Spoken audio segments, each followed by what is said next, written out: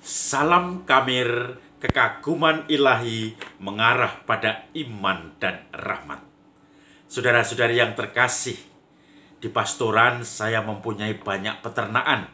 Selain anjing dan anak-anaknya, dogi, saya juga punya kambing. Ini kambing ini kalau sudah dipiara nanti kalau sudah gemuk dijual pada saat Idul Adha.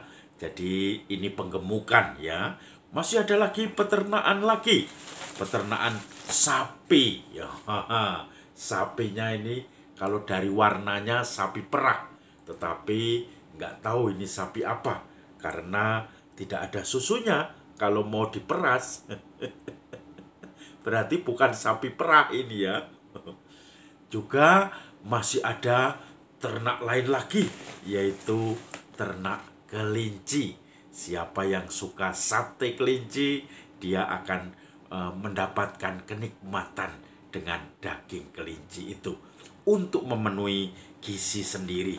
Maka kelinci ini cepat beranak. Kalau orang mempunyai anak banyak dan kecil-kecil sering disebut seperti kelinci atau tikus marmut itu karena apa? Anaknya brol brol brol brol cepat sekali punya anak dengan jarak yang pendek-pendek. Nah, maka dagingnya bisa dipakai untuk mencukupi gizi keluarga, terutama daerah-daerah yang terpencil. Nah, saudara-saudari yang terkasih, tahun 95 ketika saya masih frater muda, saya ditugaskan di Papua. Dan sebelum berangkat ke Papua, saya kursus dulu peternakan dan pertanian di KPTT Solo Tigo. Salah satunya adalah ternak ada babi, ada kambing, ada sapi, bahkan kadang kalau beranak itu kita harus nunggui sapi beranak malam-malam sampai keluar dengan selamat. Kalau tidak ditunggui kadang anaknya bisa uh, kembruan apa kejatuhan badannya, badan induknya sehingga anaknya jadi mati atau induknya males untuk menjilati uh, air ketuban yang ada di sekujur tubuh anaknya sehingga anaknya tidak bisa selamat dan anaknya juga harus dibantu terutama air ketuban yang di hidung supaya cepat kering dan anaknya bisa bernapas. Kalau tidak cepat-cepat dijilati oleh induknya air terutama air ketuban di hidung maka anaknya pun akan terlambat untuk bernapas dan kalau bahaya kemudian bisa mati. Nah, ternak ini kadang setengah mati. Kita diajari, terutama yang penggemukan, bagaimana memberi makan, bagaimana ukuran kandang, supaya kandang itu tidak terlalu besar, sehingga hewannya bisa lari ke sana kemari, sehingga tidak pernah gemuk. Tetapi harus diukur kandangnya. Makanan Bahkan makanannya pun ada pelajaran khusus membuat makanan ternak. Berapa persen pepel pipilan jagung, berapa persen tepung ikan, berapa persen bekatul, berapa persen bahan apalagi apalagi supaya akhirnya digiling dijadikan satu sehingga kalau hewan untuk penggemukan cocok untuk gemuk cepat gemuk dalam beberapa bulan dan nanti dijual untungnya banyak. Kalau itu untuk petelur, biar cepat bertelur atau telurnya besar-besar. Jangan keliru ya, makanan atau obat untuk petelur dikasihkan sapi, maka sapinya nelornya menjadi diare mencret ya. Sebaliknya, yang untuk penggemukan malah dipakai untuk petelur, maka kemudian telurnya menjadi bulat-bulat karena obatnya dan makanannya adalah penggemukan. Nah, hewan yang sudah gemuk kemudian dijual. Tetapi kenapa Yesus hari ini mengatakan barang siapa yang terbesar di antara kamu, dia harus menjadi yang terkecil. Bahkan Yesus membawa anak-anak di tengah para murid. Nah, saudara-saudari yang terkasih, sudah digemukkan susah-susah, akhirnya menjadi yang terkecil. Saya ini yang susah-susah diet menurunkan berat badan, tetapi selalu gemuk, gagal terus, maka harus menjadi yang terkecil. Padahal untuk menjadi besar, untuk menjadi gemuk, untuk menjadi orang yang punya posisi tinggi, untuk menjadi orang yang pemimpin yang disegani, itu perjuangannya keras seperti menggemukkan sapi tadi, menggemukkan kambing, semua harus diteliti dengan makanan dengan ukuran kandang secara jelimet, secara detail. Maka orang yang memicu karirnya, orang yang mencari jabatannya, orang yang menekuni profesinya, dia juga harus mempertimbangkan semua dengan jelimet, dengan detail. Tetapi ketika sudah menjadi besar, menjadi pemimpin, Yesus mengajaknya untuk menjadi pelayan, untuk menjadi yang terkecil di antara yang lain. Injil hari ini memang berbicara tentang sekali lagi para murid, 12 murid yang boseni, bicara tentang siapa yang terbesar di antara mereka. Kalau mau terbesar ya silahkan yang ngotot terbesar. Makan saja konsentrat makanan sapi atau kambing tadi biar cepat gemuk ya, biar cepat besar. Siapa yang terbesar di antara mereka? Mereka bahkan bertengkar untuk memperebutkan siapa yang terbesar. Ingat, bahkan Yakobus dan Yohanes secara khusus menghadap Yesus. Nanti kalau engkau sudah berkuasa, izinkan saya dan saudara saya ini duduk di sebelah kanan dan kirimu. Kalau engkau sudah menjadi raja, duduk di sebelah kanan dan kirimu. Seakan-akan kesuksesan, kebesaran mereka diukur dengan suksesnya duniawi, diukur dengan kelimpahan kekayaan, diukur dengan tingginya jabatan atau pangkat, sehingga orang-orang itu atau para murid ditegur oleh Yesus. Ketika Yesus masih bicara tentang Mesias harus menderita, mereka malah bicara siapa yang terbesar.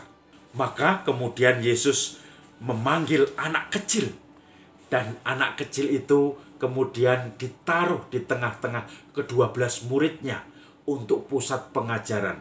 Ini siapa yang ingin terbesar di antara kamu, dia harus menjadi seperti anak kecil ini. Dia harus menjadi seperti orang yang tidak diperhitungkan orang yang justru melayani semuanya, bukan menjadi orang yang dilayani. Saudara-saudari yang terkasih, anak kecil ditunjukkan oleh Yesus kepada para muridnya. Barang siapa menyambut anak kecil ini dalam namaku, dia menyambut aku. Dan barang siapa menyambut aku, dia menyambut Bapa yang mengutus aku. Yang seperti anak kecil ini yang tidak mengandalkan jabatan, kekayaan, tetapi lebih pelayanan dan persaudaraan. Orang yang sudah sukses, dia pun tetap merasakan tugasnya sebagai pelayan, sebagai orang yang harus mewartakan kabar gembira dengan cara melayani, membawa jiwa-jiwa kepada Tuhan, dan juga mencoba menciptakan kebahagiaan bersama apa pun agamanya, apa pun kelompoknya, dan kalau dia menjadi pemimpin, dia menjadi pelayan. Saudara-saudari yang terkasih, saya teringat dengan seorang mantan wali kota, yaitu wali kota Solo. Bagaimana Pak Rudi ini seorang prodiakon. Beliau itu menjadi pemimpin di kota Solo mulai dari wakil wali kota pada waktu itu. Kemudian ketika Pak Jokowi ke Jakarta menjadi gubernur di Jakarta, Pak Rudi naik menjadi wali kota dan beliau sebagai wali kota tetap melayani, tetap dekat dengan rakyatnya. Dia menerima siapa saja yang datang ke rumahnya. Keluarganya pun sangat santai menerima siapa saja yang datang ke rumahnya. Bahkan e, Bu Rudi kalau ke pasar naik motor sendiri dan tidak mau dikawal oleh Satpol PP. Dan anak-anaknya juga begitu saja main seakan-akan mereka anak-anak biasa bukan anak wali kota. Pak Rudi sendiri masih menjadi prodiakon yang masih melayani komuni, yang kadang masih mau diundang untuk memberi motivasi OMK, memberikan ide-ide inspiratif yang bisa membangkitkan semangat anak-anak muda, kaderisasi, dan juga masih mau membantu gereja di parokinya ketika mencari dana untuk membeli tanah parkir gereja, yaitu dengan main ketoprak. Beliau pun bisa main ketoprak itu dan tiketnya dijual kepada umat sehingga akhirnya mendapatkan dana untuk membangun gereja. Maka karya-karya yang sederhana, bahkan ketika sudah pensiun, kembali Pak Rudi menjadi tukang las. Viral di media sosial, dia baru mengerjakan di bengkelnya, yaitu menggerinda besi-besi, mengelas besi-besi, dan bekerja seperti sebelum dia menjadi wakil wali kota dan wali kota Solo.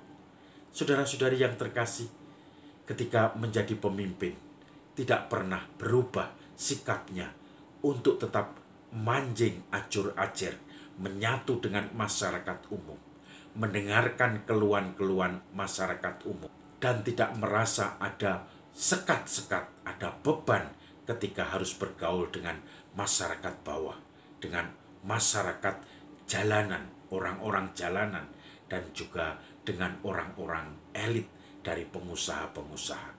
Di satu komunitas bisa masuk, di komunitas lain bisa masuk juga di komunitas kegerejaan bisa masuk, di komunitas multi agama interreligius dialog juga bisa masuk.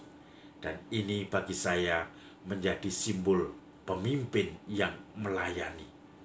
Yang terbesar seperti dikatakan oleh Yesus, yaitu yang menjadi terkecil, yang melayani semuanya, yang pikirannya bukan untuk kepentingan diri sendiri, tetapi memajukan masyarakat supaya hidupnya semakin makmur. Walaupun sekarang sudah tidak menjadi wali kota lagi, tetapi cukup dikenang ketika beliau menjabat. Dan banyak orang terkesan karena beliau sungguh-sungguh menyapa orang-orang dari segala lapisan. Maka saudara-saudari yang terkasih, mari kita mencoba merenungkan bahwa untuk menjadi pemimpin kita harus menjadi pelayan. Untuk menjadi terbesar, kita harus menjadi yang paling kecil, yang melayani, yang selalu mungkin tidak diperhatikan, tetapi justru di situ bantuan kita, pengaruh kita, unsur-unsur yang kita kerjakan bisa dirasakan oleh banyak orang. Saudara-saudari, salam kamir kekaguman ilahi mengarah pada iman dan rahmat.